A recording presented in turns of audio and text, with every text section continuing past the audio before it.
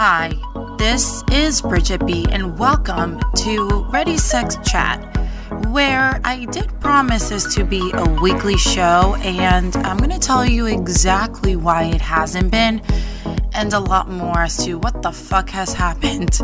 Please stay tuned as I get right into it and all the real, raw, and personal that you are here for. Stay tuned. I'm just going to start off by saying I hope you've missed me because I missed you guys ever so much. I have a lot of explaining to do. Insert Mr. Ricky Ricardo here. Lucy, you got a lot of explaining to do. I um I'm going to be real. I'm going to be honest and I'm going to be real. Something that social media doesn't allow me to do. And this is why podcasting has been so important for me because it's opened the doors to a lot of different aspects of my personality that goes far beyond just a chick that spreads her legs open for money. Now, this pandemic has been shit. It's been a monster shit. I can't begin to express how over it I am. Now, I want to get into a world of non political, of non judgment, because that's not what this show is about. But like I've mentioned before, I'm here to give my opinion, and I choose to have my own platform. And as many of you know, if you don't like it, you don't listen. Much like porn. If you don't like it, just skip. The fact that anyone gets mad about porn and they're on Pornhub.com or you know Brazzers.com is baffling because in order for you to see that porn, you had to www.it.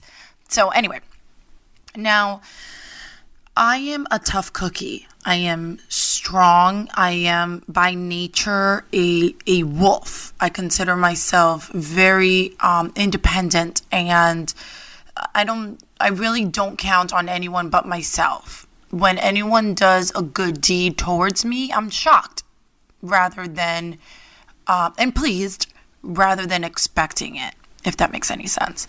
So you're taking a woman that is so strong and you're basically put her in a cage for a year, as many of you have experienced.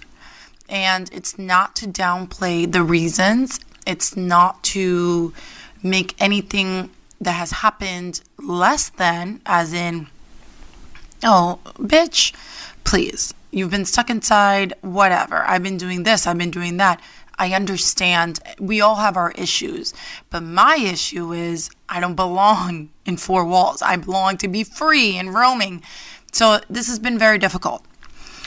I had to take a mental break. I had to take time and really evaluate what it is that I want. I I didn't want to ever and I don't ever want to put out a product um, a piece of me that's not me. So when I was trying to bring in guests and etc and then I realized that I haven't the branding of this program is all about me. You know, it's it's I'm giving you my inside world into porn. I'm giving you my sex tips. I'm giving you, you know, Bridgette B. And I felt like you didn't get it. Um, first season into second, it's been a lot of what things are going on around me and not so much me and who I am as an individual outside of porn. So while I was sitting and analyzing how I, you know, and getting all my guests in order, I realized that before the guests come in, I want you guys to take a moment and really understand where I've been coming from and why this weekly show turned into when was the last time I posted. and it I'm human. It happens. And I took this opportunity to really not get down on myself, as I hope many of you, all of you who are listening, are really taking the time to not drown in negativity, to really rise above all of this as best as you can with the tools that you have. And I hope that for someone like me who has been struggling to keep it together, you know, I just, I struggle to keep it together. And because I am such a personality, it didn't bring me down. Instead, I am here. And I said, no, fuck that shit. I am going to come above and I have some shit that I want to say. And then on the upside of that, on the other side of the coin, I'm an entertainer. You, there's times when you have to just say, fuck it, the show must go on. And that's exactly what we're going to do. I am going to give my sincere apology for not um, for kind of taking this time to evaluate myself. And we also had to do some serious uh, rebranding, which we're still in the middle of, because the word sex is basically not allowed in any social media outlet. Instagram, um, Twitter is damn near close. TikTok, anywhere to post, I've had to take down the E and just write SX. It has been banned tremendously. And as we know, the censorship that is occurring is dangerous. And I have been, along with my coworkers, we have been censored our entire careers. Um, any female and any male that is brand new to the industry, to the porn industry, I give them so much praise because I developed my fan base pre social media. So for at least a solid five, six years, it was going to features, it was dancing at clubs, it was attending conventions. Um, MySpace wasn't really around. I wasn't really using Facebook. Yes, there was Instagram, but I maybe had like, I don't know, 100,000 followers or something, which nowadays it seems like that's nothing.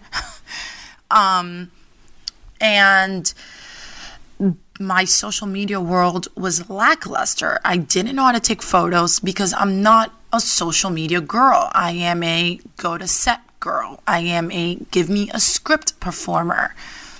So I've had to adapt and it's been a blast. And through OnlyFans, etc., and through Brazzers Plus, getting to know so many of you in a more intimate, personal level and just having fun has been something I would never be able to do had I not been stuck at home for nearly a year. And I'm very excited to see where it grows with all of this um, because now porn is getting a new aspect. However, more and more fans are just starving and hungry for new entertainment. And I'm so happy to see that. And I'm so happy to hear it because it was worrisome for a minute for a minute you'd think, oh, well, all they want is just some voyeur like, you know, I'm in my car type of scenes or um, sets. That's not the case. No, no, no, no. So many of you are just wanting to be entertained. And I think you guys had the opportunity to see what life would be like without porn. We don't like it, do we?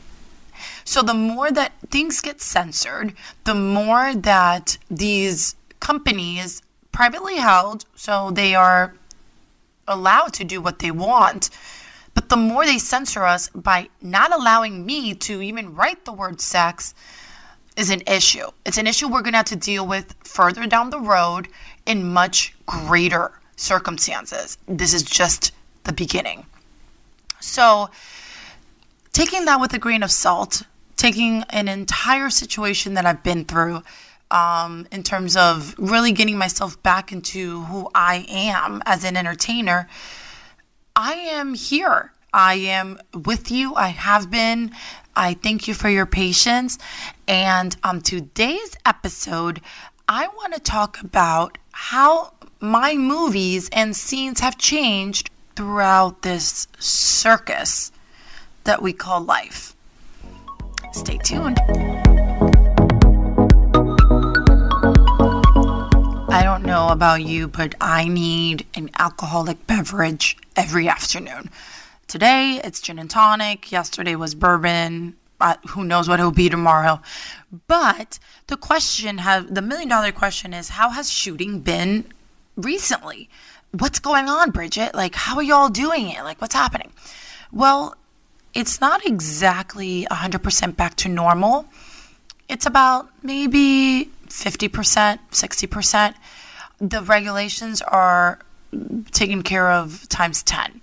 There is no way around it. Um, all legalities are taken care of, and anyone who's shooting goes above and beyond what is needed to do because you have to figure it is one of the most intimate uh, work environments other than hospital, other than, I mean, what else? Where else in this world are you having sex as your job? So, very intimate. For me, how do I put this? I love my job. My job is an entertainer. My job isn't sucking dick.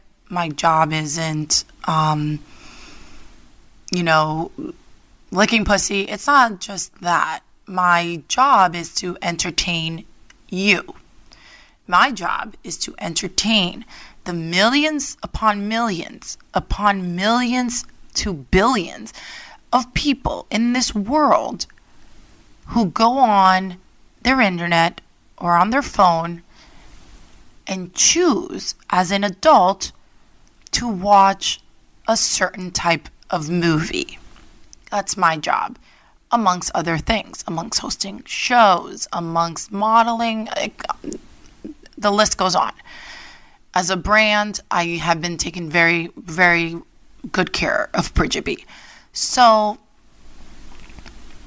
why is it that I'm not satisfied? I realize that this is my job and I the the phrase I want to say is I conform. You know, I I adapt to my environment. I that's been my survival. That's been how I've made it through X amount of years alive. I can adapt very easily. And when I got my first scene to go back after being in home for nearly six, seven months, it was surreal because you forget. So, for someone who has done at least, I don't know, 300 plus movies in her decade long career, to say that Bridgette B forgot how to do certain things for the movie was shocking. I always thought that it was no, no matter what happens, you always know what to do. I was nervous. I was nervous and I was anxious. I felt as if I wasn't good enough. I felt as if my mojo was off. I felt as if I was overly critical. And I didn't feel myself. Now, I'm sure this can go for so many of you um, going back to work where you're just, you kind of forget social etiquette. Um, so for me, I forgot movie etiquette. I forgot that you have to do this after position one. I forgot that you have to, you know, look at the camera while you're opening up here and make sure that the light is shining here and make sure your pussy is open. I forgot all of that. And I realized that this first movie was so much of a natural moment. It was me 10 years ago.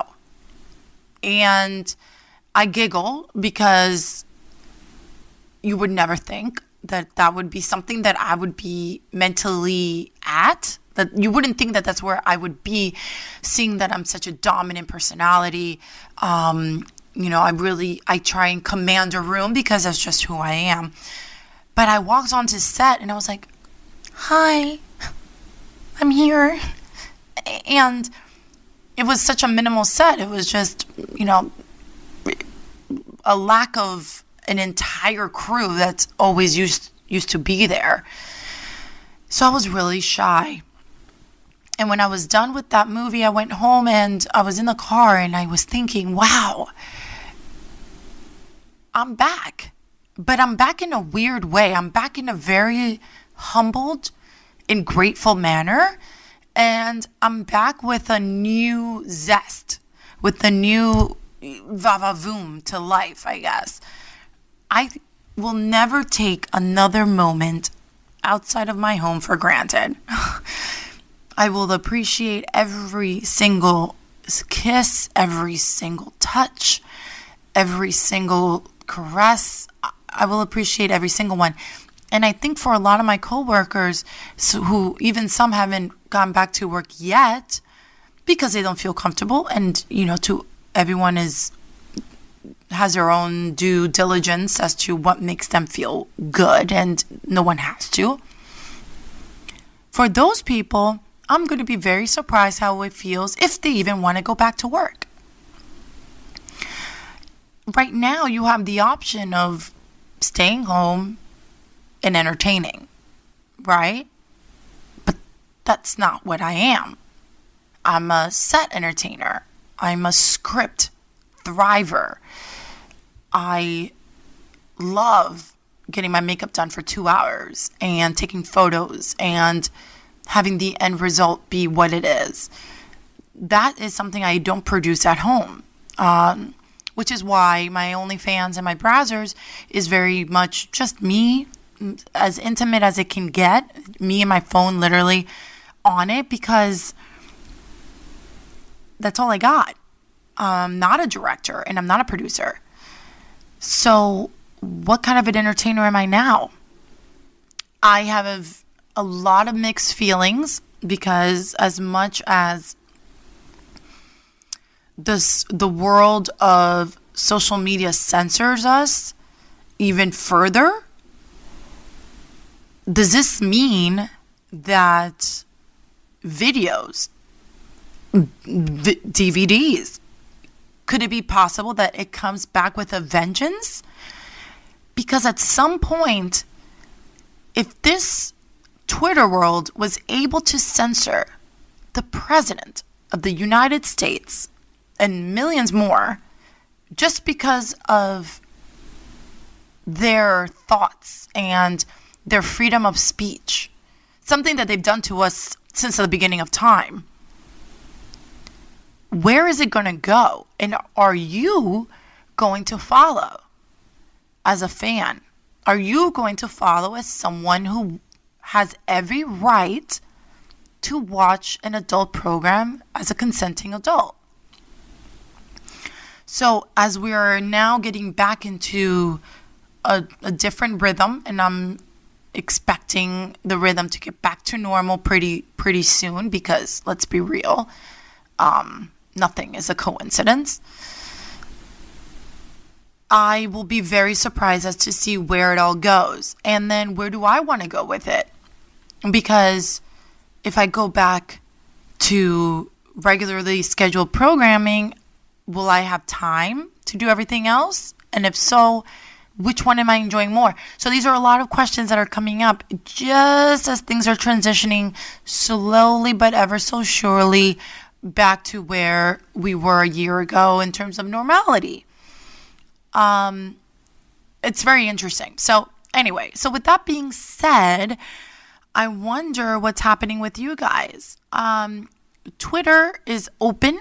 Twitter at Ready Sex Chat is wide open like a whore in church. Uh, your comments and everything I always read there. I am still tinkering with Instagram, returning our old uh, Instagram. And as things evolve, luckily, I'm here.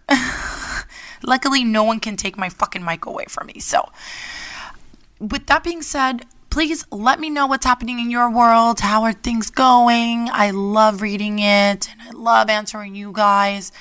And thank you so much for your patience sometimes life just happens, and I hope that wherever you are, at whatever stage of life that you are at right now, that you can see the light at the end of the tunnel, that you can see that sliver of of light coming through and know that listen, it can only get better. And with each other's help and with each other lifting each other up, I can't do anything for the world around me. Like it's just it's just little me. There's only so much I can do. But I can at least make sure that when I wake up in the morning, I'm happy to be doing what I want for work.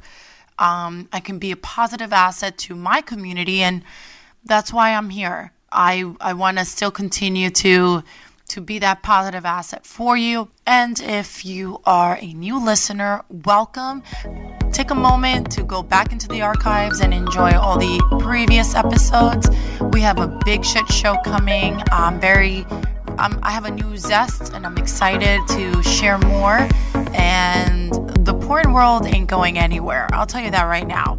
So stay tuned for a lot of more juicy stories and the behind the scenes right here on Ready Sex Chat. Till next time. Mwah. Ready Sex Chat is on the podcast playground.